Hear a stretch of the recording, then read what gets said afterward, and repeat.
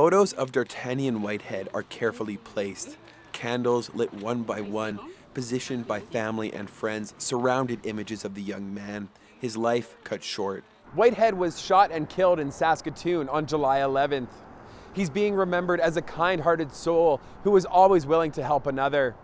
Family and friends gathered to honor his life and his spirit. The man was a member of the West Side Outlaws street gang. His mother says he joined the gang for protection, but he didn't tell her why.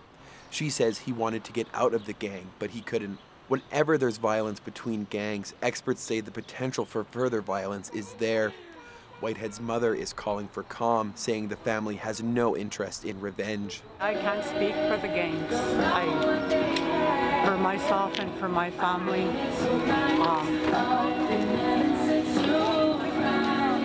love to have some um, calmness in our lives. We don't, we don't want to uh, retaliate. We, we can't do anything to get him back. Why should we retaliate? That things won't change if we retaliate. Some of Whitehead's siblings spoke at the memorial, sharing stories about how much they loved him. His girlfriend of two years says her life will never be the same. Now that he's gone, in my life just feels. It just feels like something's missing. And it's him. He's missing. He's gone. He's, he's never coming back. And that's one thing I'll never. I'll never get used to for a long time. Whitehead's mother says the support is helping her deal with the loss.